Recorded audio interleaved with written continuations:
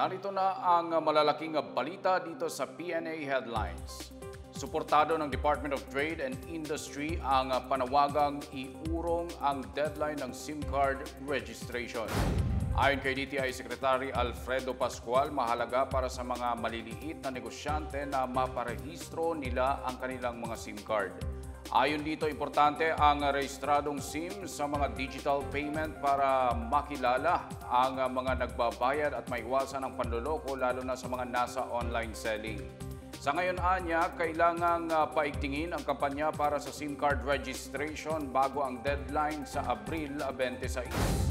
Samantala, pupulungin ng Department of Information and Communications Technology ang mga kinatawan ng telecom company para pag-usapan kung kailangang i-extend o hindi ang pagpaparehistro ng mga SIM.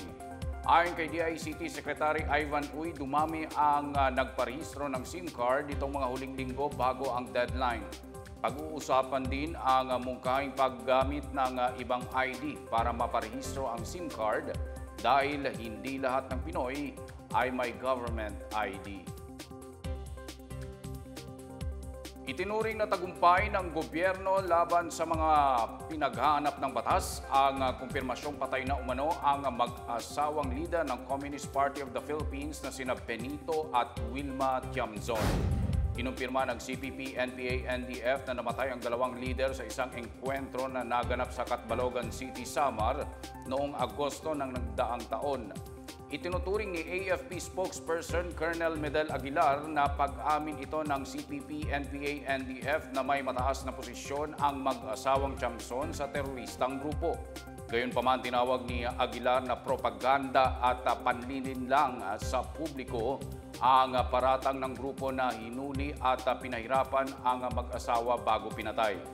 Git niya, lehitimong operasyon ang nangyaring engkwentro laban sa mga nooy hinihinalang VIP ng CPP-NPA noong Agosto ng taong 2022.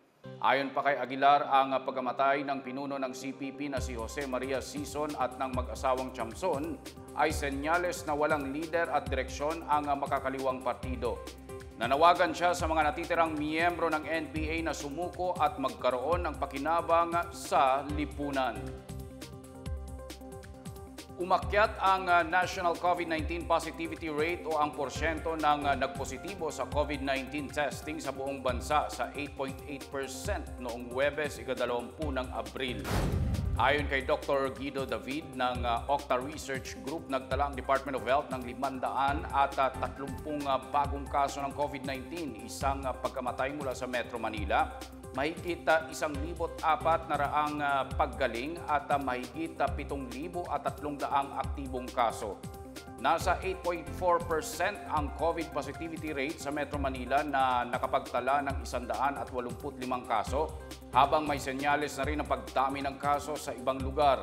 Ayon kay David, hindi pa ganoon kataas ang positivity rate kumpara noong Hunyo hanggang Disyembre ng taong 2022 kung saan tumaas ito ng hanggang 20%. Payo ni David, ipagpatuloy ang pagsusuot ng face mask at pagsunod sa mga health protocol. Binabantayan din ang posibleng pagpasok sa bansa ng COVID-19 variant na Arcturus na nagdulot ng paglobo ng mga kaso ng COVID-19 sa mga bata sa bansang India. Sarado sa trapiko ang ilang mga kalsada sa Kalakang, Maynila mula Abril 20 hanggang 24 para sumailalim sa pagkukumpuni. Ayon sa Metro Manila Development Authority, kabilang sa mga apektadong kalsada ang mga sumusunod. Bahagi ng C5 Road southbound sa harap ng UP Henry C. Building sa Makati City, EDSA Kalayaan Fort Bonifacio eastbound, Pier 31 hanggang Pier 42 patungong Hilpuyat Avenue sa Makati City. EDSA northbound malapit sa MRT Buendia Station sa Makati City. Bahagi ng EDSA southbound Panorama Building sa kabila ng SM Annex sa Quezon City. EDSA southbound Clover Leaf Interchange hanggang Balintawak LRT Station sa Quezon City. Luzon Avenue northbound, Luzon flyover patungong Congressional Avenue Extension sa Quezon City. Commonwealth Avenue southbound kanto ng Riverside hanggang paglagpas ng San Simon Street sa Quezon City. Commonwealth Avenue southbound mula Laura Street hanggang Intramuros Village sa Quezon City. Una at ikalawang lane ng BIR Road southbound Quezon Avenue hanggang East Avenue sa Quezon City. Kalayaan Avenue southbound mula V. Luna, Camias Road sa Quezon City. EDSA northbound Orense Street patungong Urdaneta Street sa Makati City. EDSA northbound sa pagitan ng ah, Sergeant Mariano Street at Aurora Boulevard North sa Pasay City. Inner lane ng EDSA southbound bago dumating ng Cabrera Street sa Pasay City. A. Bonifacio Avenue southbound kanto ng Sergeant Rivera sa Quezon City. C5 Road along Pasig Boulevard westbound malapit sa Universal Robina Corporation sa C5 Road Pasig City southbound paglagpas ng stoplight sa C5 Road Julia Vargas sa Pasig City at EDSA Kamuning southbound mula 3rd lane hanggang 1st lane ng New York Avenue sa Quezon City muling ah, bubuksan ang nabanggit na mga kalsada sa lunes, Abril 24 ng alas 5 ng umaga.